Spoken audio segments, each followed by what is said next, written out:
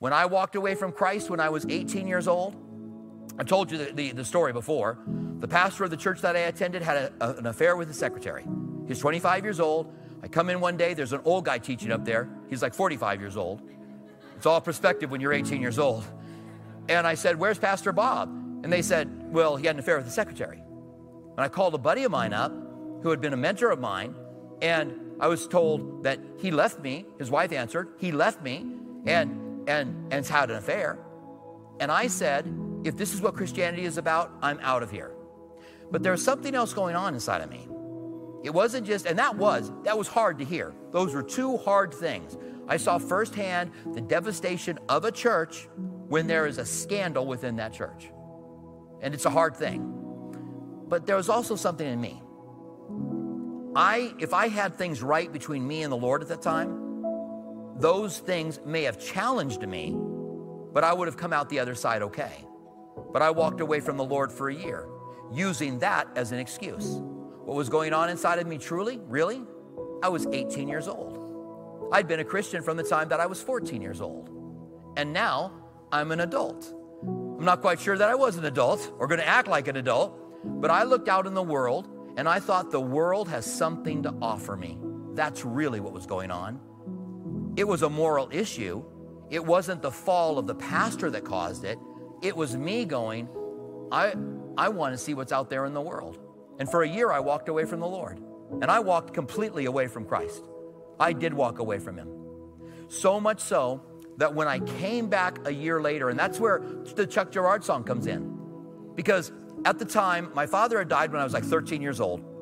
And uh, he worked at base and he had gotten some money. I'm not sure if it was insurance money or exactly what it was when he died, but I got that when I was 18 years old.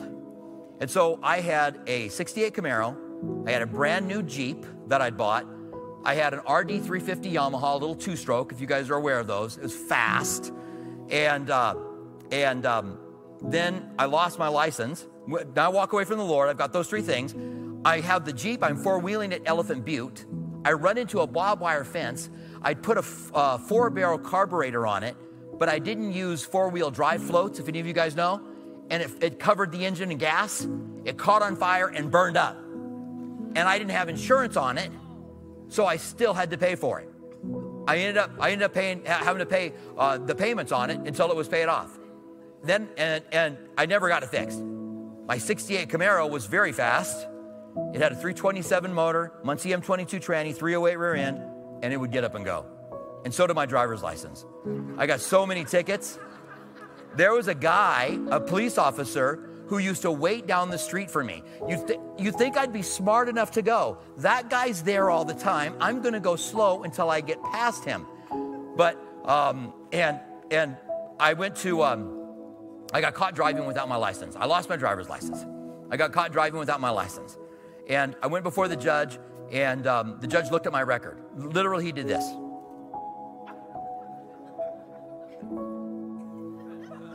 And then he says to me, You know what?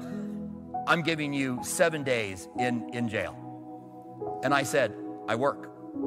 And he goes, Work release. So I had seven days in jail.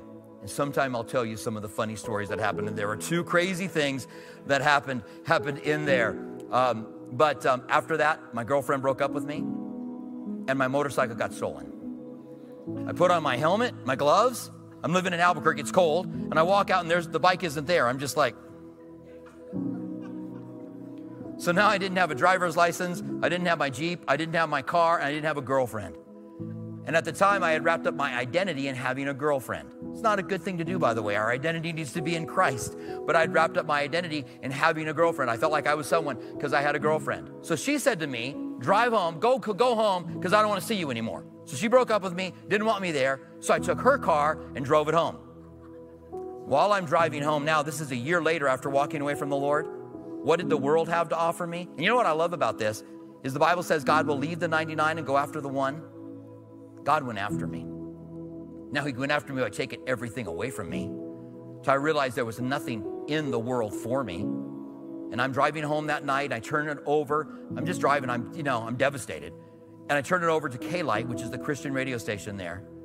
And Love Song, Chuck Girard's song, Little Pilgrim was playing. It says, Little pilgrim going down the road of life. Can't you see that there are so many who are just like you? And they take a little turn to the left to see what that road has to offer, but you got to make it back to the main road anyhow, and you've got all that lost time to make up for. And it's a sad thing when you realize you're all alone again. And it hit me. I'm driving down the road, just thinking God won't have anything to do with me. And then the last line of the song says, and it's a glad thing when you find your way back home. I took that as God saying, I want you to come home. I went that night and I prayed, Lord, not what I want anymore, but whatever you want. And I and God did a transformation in my life. He, he brought me back. And I thought he was going to bring me back as a second class Christian. In fact, I went to an Assembly of God church. that was the church I was going to when I left. I went to Assembly of God church. The worship was great, the teaching was great, but nothing happened inside of here. I, here I am in church, I feel nothing. And I think I, I, I've gone too far. I went to another church, the same thing. I thought I'd gone too far. So a friend of mine, my backslidden buddy, calls me up and says, You got to go to church with me on Friday night. And we went to this wild, charismatic church that he'd gotten saved in. He had no idea that I knew what I was talking about. I think I tried to witness to him during that year, but I was drunk. And it's a bad thing to try to witness to people when you're drunk. That generally doesn't work. And he said, You got to go to church. I got saved. You got to go to church with me. I went to church that night. It was a bizarre church. They played the Jaws theme over and over again and sang in the spirit with the Jaws theme. Dun, dun, dun, dun, in the spirit, in the spirit. The whole place is chanting that. And I'm sitting there and I just hear, I really believe God spoke to me.